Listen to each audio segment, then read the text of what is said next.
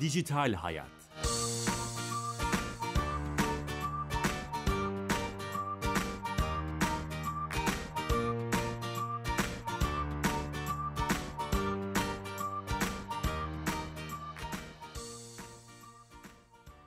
Program yapımcılığını Kenan Bölükbaş, teknik yönetmenliğini Önder Arıcan, danışmanlığını Bilal Eren'in yaptığı Dijital Hayat'a hoş geldiniz.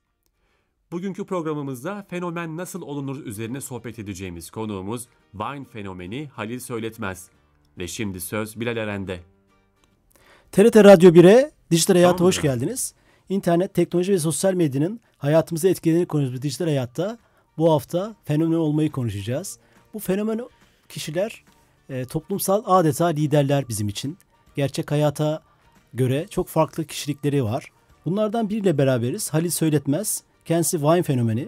Hem Vine'ın ne demek olduğunu hem fenomenliği ve kendi hikayesini konuşacağız. Onun öncesinde her hafta e, TürkSat Genel Müdür Yardımcısı Halil Yeşilçemen'i e, canlı yayına alıyoruz ve Türkiye Gov.tr üzerinden dijital hayatın etkilerini konuşuyoruz ve Türkiye Gov.tr üzerinden bir özelliği bize kendisi anlatıyor. Halil Hocam hatta mısınız? Kendisine bağlantımız devam edecek. Bağlantı kurmaya çalışıyoruz. Ee, Halil Hocam. Ha, merhabalar nasılsınız? Sağ olun hocam. Siz nasılsınız? Alo. Duyuyor musunuz hocam? Ben duyuyorum. Siz duyuyor musunuz? Sağ olun. Duyuyoruz hocam. Hoş geldiniz yanımıza. Ee, Türkiye Gov.tr devlet kapısı hayatımıza çok etkisi var. Özellikle dijital hayatımızı hayatımızı etkiliyor. Bu hafta ne, hangi özelliğini bize anlatmak istersiniz? Hafta ben size e, hizmet alınması için e, en önemli araçlardan birisi olan şifreyi anlatmak istiyorum. Tamam hocam. Şifrenin nasıl alındığını, nasıl kullanıldığını ve nasıl yenilendiğini anlatacağım. E, biliyorsunuz E-Devlet kapısı Türkiye Gov.tr bir başka deyişle hizmetlerin e, bazıları kişisel olmayan hizmetler ve dolayısıyla bunlar her kullanıcıya açık. E, fakat hizmetlerin kişisel olanlarına erişimde ise kimlik doğrulama gerekmektedir. Bu kimlik doğrulama işlemleri için de e-devlet şifresine ihtiyacımız var. Evet.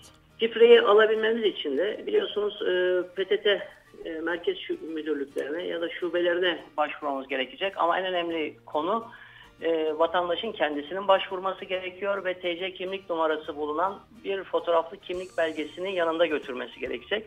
Aksi takdirde e, şifresini alması mümkün değil. E, bu şekilde başvuruda e, kolaylıkla şifre alınıyor. Burada küçük bir de meblağ var 2 TL şeklinde. Bu tamamen PTT'nin hizmeti karşılığında alınan, talep edilen bir bedel. Eğer kişi yurt dışında ise e-devlet şifresinde yurt dışındaki elçilik ve konsolosluklardan e, aynı şekilde temin edebiliyor. Şimdi tabii e, şifre temin edildikten sonra Türkiye Gov.tr adresine giriyoruz ve e, bizim elimizde verilmiş olan kağıt belge üzerindeki o kağıt belge oldukça önemli çünkü kapalıdır o. Onu ilk kez siz açacaksınız. Açtığınızda size verilmiş olan şifreyi göreceksiniz. Bu geçici bir şifredir. Ve almış olduğunuz bu şifreyi Türkiye Gov.tr üzerindeki giriş noktasından, kimlik doğrulama noktasından girdiğiniz zaman ilk girişte sizin şifrenizi yenilemeniz istenecektir. Ee, burada bir takım şifre yenileme kuralları var. Zaten o kurallar orada açık, net bir şekilde açıklanmıştır. Ve e, şifrenizi orada yeniledikten sonra artık Türkiye Gov.tr üzerindeki hizmetlerden yararlanma hakkına sahip oluyorsunuz. Ve her seferinde yine bu şifrenizi girerek bu hizmetlerden yararlanacaksınız. Tabi burada önemli bir konu var. Şifremizi eğer kaybedersek ne olur? Şifremizi kaybedersek e, ne olur sorusunun cevabı yine PTT şubelerinden alabiliriz. Yeni bir şifre. Veya yine sistemde bazı kişisel bilgiler istenecek bizden. Bunlar da telefon numaramız veya e, mail adresimiz. Bunlar muhakkak girilmesi gerekir. Çünkü şifrenin unutulması durumunda şifre talep ettiğiniz zaman sizin cep telefonunuza veya mail adresine gelen yeni bir geçici şifreyle unuttuğunuz şifrenizi tekrar yenileyebilirsiniz. Hı hı hı. Yeni bir şifre alabilirsiniz. Hı hı. Böylece e, artık bu şifreyle E-Devlet kapısı üzerinden tüm hizmetleri alabilme şansına sahip olacak. Bütün bütün hizmetlere böylece ulaşabilmiş oluyoruz değil mi hocam? Tabii ki bütün bütün hizmetlere ulaşabiliyorsunuz. Çünkü kişisel hizmetler olması dolayısıyla kişisellikte muhakkak kendinizi e, ispatlamanız gerekecektir. Şifrenin anlamı da zaten budur. Hı hı. Geçen hafta şifre nasıl alınır öğrenmiştik. Bu hafta şifremizi unutursak veya kaybedersek ne yapacağımızı öğrenmiş olduk. Geçen hafta biraz daha şöyleydi. E, şifre biz e-devlet şifresinden bahsettik. Geçen hafta ise e, yetkilendirme ve e, kimlik doğrulama mekanizmalarında ki diğer araçları da ortaya koymuştuk. Bunlar e-imza veya mobil imza idi. Evet hocam. Eğer vatandaşın e-imzası veya mobil imzası varsa zaten kimlik doğrulama işlemini e-devlet şifresi almasına gerek kalmadan e-imza veya mobil imza üzerinden gerçekleştirebilir. Hatta sisteme giriş yaptıktan sonra e, kimliği doğrulandığı için o kişinin e-devlet şifresini de PTT'ye gitmeden alabilme şansına sahip. Hocam çok teşekkür ediyoruz. Ee, ağzınıza sağlık. Haftaya görüşmek üzere. Görüşmek üzere. iyi yayınlar diliyoruz. Sağ olun hocam. Sağ olun hocam. Kon- konumuza da merhaba diyorum. İyi Onda, yayınlar onda size selam var hocam. Aleykümselam, selam.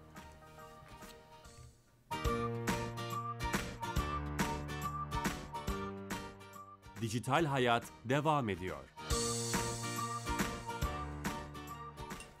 Evet tekrar beraberiz. Ee, bu dünyanın ünlülerini ve karakterlerinden en önemlilerinden biri Halil ile beraberiz. Halil nasılsın? Hoş geldin. Hoş bulduk merhabalar siz nasılsınız? Sağ olun teşekkürler. Ee, nasıl fenomen oldun Halil? Böyle başlayalım. Nasıl fenomen olundu?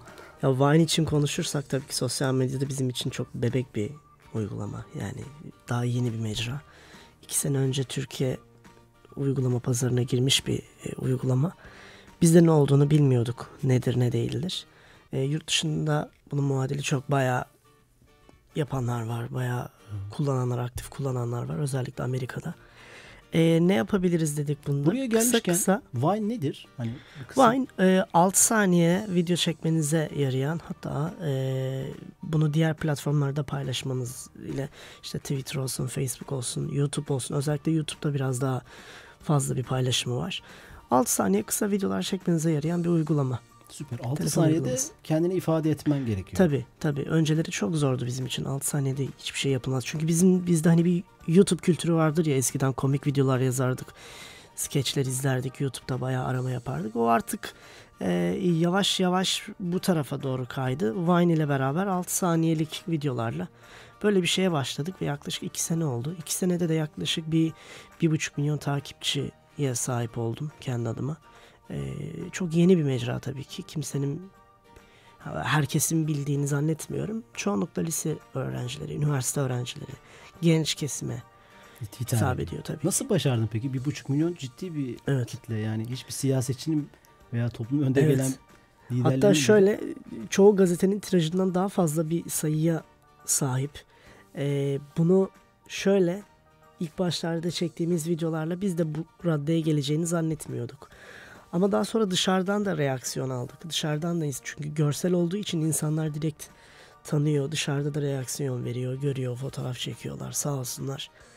Ee, bunun yanı sıra hani Twitter'da fenomen olunabilirdi. Bir Facebook'ta, bir Instagram'da fenomen olunabilirdi ama Vine çok çok başka. Sonuçta görsel, insanın hafızasına direkt etki eden, kazınan bir şey. Ee, güzel oldu bizim için ya. Hani ama bu kadarını tahmin etmiyorduk. Evet. Feci. Peki bu e, şimdi ben bir hesap açtım diyelim Hı hı. e, Vine'da. Ya bunun ipucusu nasıl? Yani şifresi ne bu işin? O Vine için fenomen olmaktan bahsediyorsak tabii ki eee, fikirli bir şekilde o durum anlık komikliklerini aniden yansıtmanız gerekiyor. Şimdi ne kadar takipçiye sahip olursanız olun e, izleyiciye, kullanıcıya çok saçma gelen bir şey yaptığınızda çok tepki alıyorsunuz. E, bu diğer şeyler için de böyle tabii ki de ama Vine e, şeyi yok mesela. Twitter'da bir şey yazdığınız zaman hemen bunu siliyorsunuz kimse görmeden etmeden. Biz hem Vine'i çekiyoruz. insanların görmesini istiyoruz. Etkiyi bekliyoruz, döngüyü bekliyoruz. O döngü gelene kadar eğer saçma bir şeyse zaten Siliyor musunuz ondan sonra? eğer çok tepki alırsak evet. Yani Şimdi orada ben videolarına baktım mesela. Çok zekice işler var. E, 6 saniyede bir şey anlatıyorsun. Evet. Özellikle mesela Ali Ağaoğlu ile Evet. çektiğiniz bir şey var. E, yani bunu nasıl kurguluyorsunuz hızlı bir şekilde? Ya o an aklımıza geldiği zaman aslında komik oluyor. Daha önce kurguladığımız zaman hani çok zorlama olduğu zaman olmuyor. Ya o an mesela Ali Ağaoğlu olayında eee, o an masada hani ne yaparız diye düşündük. Aklımıza direkt o geldi. Onu çektik, onu gerçekleştirdik falan. Ama eee, kurgu yaptığımız zaman daha önceden mesela reklamlarda bu oluyor. Biz viral reklamlar da yapıyoruz Vine üzerinden. E, kurgu yapıyoruz. Eğer kurgu gerçekten zorlama bir kurguysa beğeni insanların döngüsü vesaire tamamen Yani her yaptığınız oluyor. beğenilmiyor yani. Onu Tabii canım. Tabii ki. Seçiyorsunuz. Tabii ki. Şimdi ben tabii kanala geldik. Seni aşağıda karşıladık. Yukarı Hı hı, çıktın. hı.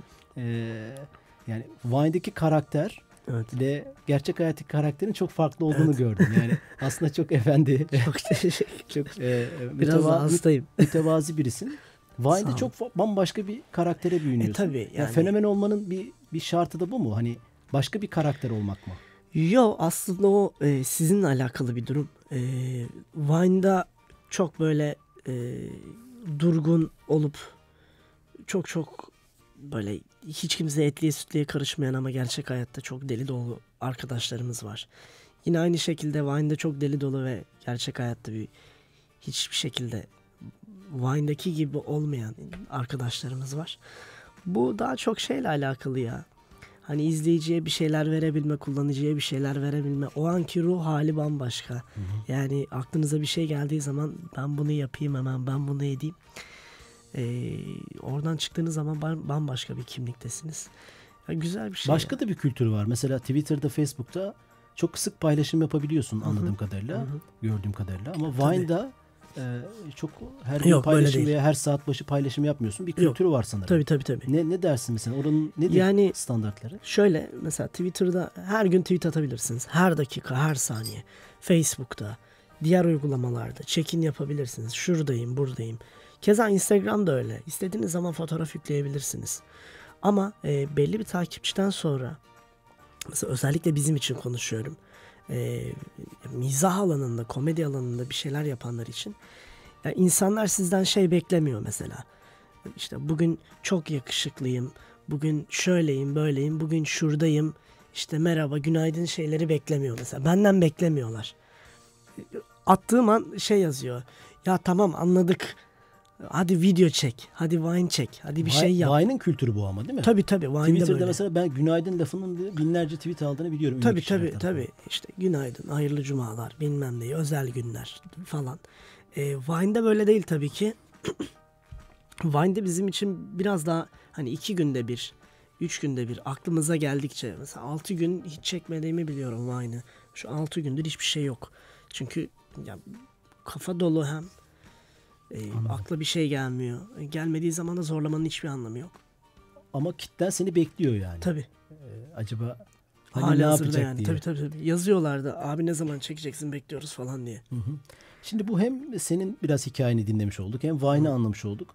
Şimdi bir de ben şöyle bir e, açıdan bakmak istiyorum. Şimdi sizin müthiş bir kitleniz var. Evet. Senin ve birçok fenomen arkadaşın. Bir sorumluluğunuz da var aynı zamanda. Tabii. E, insanlar size bakıyorlar, etkileniyorlar, peşinizden gidiyorlar. Tabii.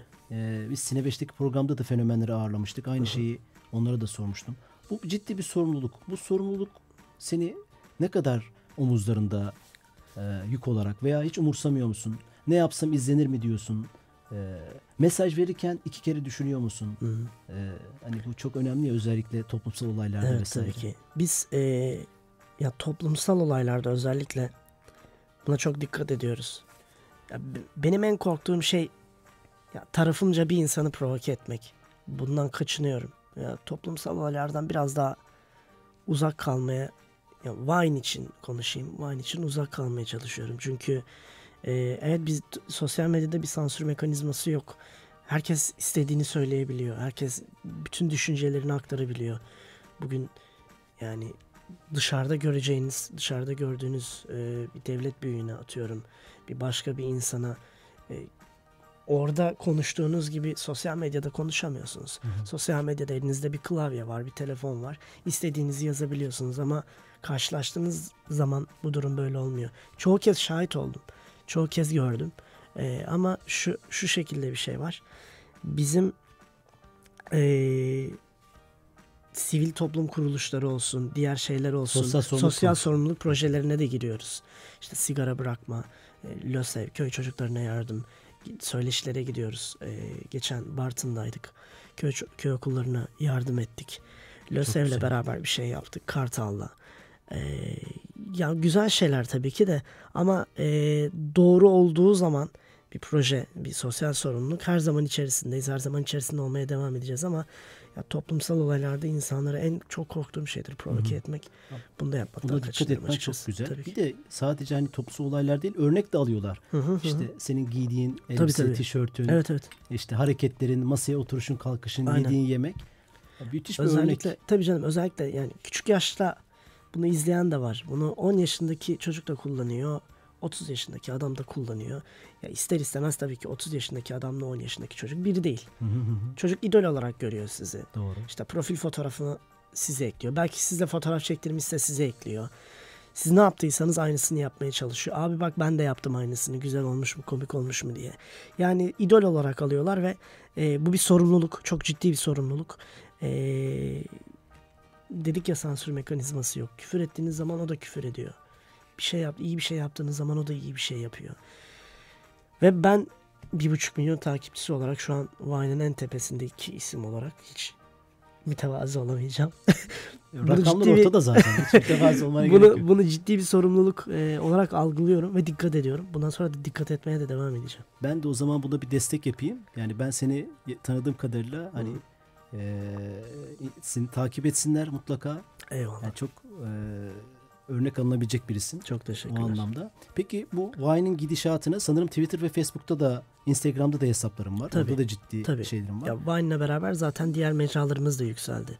Twitter e, eskiden 1000 2000 şey pardon e, Instagram 1000 2000 iken şimdi 327 bin.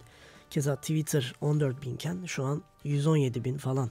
Facebook keza 600 Birbirini bin öyle. tetikliyor o zaman. Tabii Doğru tabii. mu? Yani Vine'de sizi izleyen e, biri diğer mecralarda da takip etmek istiyor. Ya bu adam Twitter'da da takip edeyim, Instagram'da da takip edeyim, yakinen takip edeyim. Hatta işte Swarm'dan takip ediyorlar. Neredeysek abi biz de gelelim. Aa işte ben de oradaydım. Bir fotoğraf çekelim. Şu ilime gelir misin? Bu okuluma gelir misin diye. Biz tabii turneye de çıktık. Geçen sene bayağı e, 40 turne yap, 40 il gezdik. Bu sene de bir 60'ı göreceğiz galiba. Yine aynı iller de içinde olacak tabii ki de. Söyleşiler var, gösteriler var. Güzel gidiyor ya. Dışarıdan reaksiyon almak da güzel. Peki seni tanımak adına okuyor musun? Hani takipçilerin neler yapıyorsun? Ee, okumuyorum, ee, çalışıyorum bir sosyal medya ajansı. Ee, Kendi şirketin. Bizim şirket, bir sosyal medya ajansımız var, kendi kurduğumuz. Ee, onun üzerinden işler yapıyoruz. Zaten bu sosyal medyanın içerisindeydik ama bu kadar tanınmıyorduk. Ee, Vine'la beraber bu kadar da tanınırlık olması bizim de işimize geldi tabii ki. Evli misin? Yok bekarım. Askerliğini yaptın mı? Yok. Bu hep hani Daha çok genciz. yaş, yaş kaç? Hani 25 yaşındayım. Mutlaka merak ediyorlardır. Peki e, ilerideki hedefin ne? Mesela ben birkaç e, şimdi bu kadar ciddi bir kitleye ve söz söyleme becerisine sahipsin. Evet. E, ilerideki hedefin ne? E, İnanın sos- örneğin Vine'ın Vine Amerika'da bir şirket sanırım. Yani Orada çalışmak ister misin? Veya Türkiye'de ofisi var mı bunların? yok. Türkiye'de bir ofisleri yok. Twitter'da Yani- çalışmak ister misin? Ne düşünüyorsun? Ha, sosyal işimiz sosyal medya olduğu için sosyal medyanın da akıbeti belli olmadığı için açıkçası ne olur ne biter ee, onun önünü şu an göremiyorum. Ama amaç biraz vardır. tabii amaç medyaya televizyon tarafına kaymak biraz daha. E, oralarda bir şeyler yapmak işte sinema olsun, dizi olsun, normal program olsun. Ee, biraz oralarda düşünce var. Kendini bu konuda şey görüyorsun yani yetenekli Tabii tabii. görüyorsun. Daha bir sene önce biz Beyaz Öztürk'le beraber çalıştık. Beyaz Show'da bir e, şeyimiz oldu. Bir sene boyunca Wine At köşesi yaptık. İnsanlar oraya wine gönderdi. O koordine ettik, organize ettik. Çektik, yayınladık falan. Öyle devam ediyoruz yani yavaş yavaş. Peki e, Vine diyelim bir gün kapandı şirket Hı hı. veya başka bir şey oldu. Senin burada ciddi bir kitlen var. Evet. E, ne yapmayı planlıyorsun? E, diğer platformlardan diğer- devam. devam Yani edeceksin. YouTube'dan devam. Evet bu şey de çok önemli. Bu geçişkenlik yani Tabii. o kültürü internet kültürünü anladıktan sonra Vine olmaz yarın Instagram olur. Kesinlikle. Instagram olmaz başka bir mecra olur. Kesinlikle. Oradaki o yeteneğini devam ettirmek Tabii ki. istiyorsun. Özellikle bu 6 saniyede e, hep soruyorlar. Çok hı. sorular geliyor. Evet. 6 saniyede bir insan hikayesini nasıl anlatır? A- Bu müthiş müthiş bir şey. 6 saniye bizim hep söylerim 6 saniye bizim için 180 dakika gibi gelir. Yani bizim bir yayın organımız o. Bizim bir sinema organımız diyebilirim. Çünkü biz burada audition veriyoruz açıkçası. 6 saniye bize çok yeterli. Hani bu 8 saniye olsaydı nasıl olurdu bilmiyorum ama biz 6 saniyeye bütün her şeyi sığdırabiliyoruz. Bir sayfa dolusu metini sığdırabiliyoruz 6 saniyeye. Keserek kırparak. Mesela Instagram 15 saniye ama biz Instagram'da ben yapamam. Çok tutmadı yani. da sanırım Vine'e göre. Yok artık zaten Instagram Vine'dan görüp de Instagram'a video özelliği getirdi. Yani kendi adıma Instagram'da 15 saniyede bir şey yapamam. Yani çok uzun geliyor. Konuş babam konuş yap babam yap. Ama direkt Vine'dan alıp oraya eklediğim zaman daha iyi oluyor. 6 saniye bizim için yeterli. Bir, bir, bir hedef olarak söyleyebiliriz. Mesela geçen hafta biz bir haber yaptık. Aynı zamanda bizim teknoloji haberlerini yaptığımız bir sitemiz var. Dijitalhayat.tv. Evet.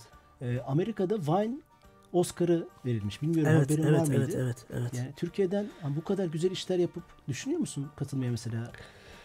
Valla Vine tarafından Biz herhangi bir katıl yani. Eyvallah. Vine tarafından herhangi bir Türkiye tarafına bir teklif ya da herhangi bir şey gelmedi. Ee, gelir mi bilemem.